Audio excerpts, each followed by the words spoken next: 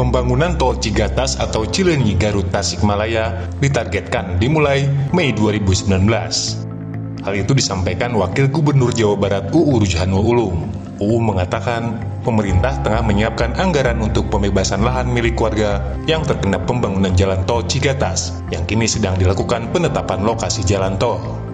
Ia menyebutkan pembangunan jalan tol akan dimulai pada Mei 2019 sesuai dengan keputusan kementerian terkait setelah melakukan rapat dengan beberapa pihak, termasuk pemerintah provinsi.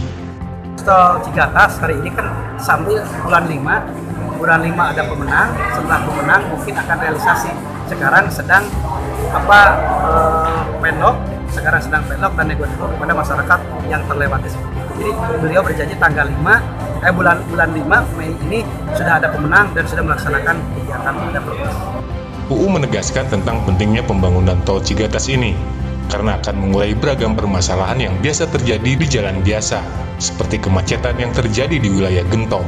Selain itu, kondisi jalan Gentong yang rawan longsor membuat para pengguna jalan merasa tidak aman. Sehingga dengan adanya jalan tol Cigatas ini merupakan salah satu solusi pemecahan masalah di jalur selatan.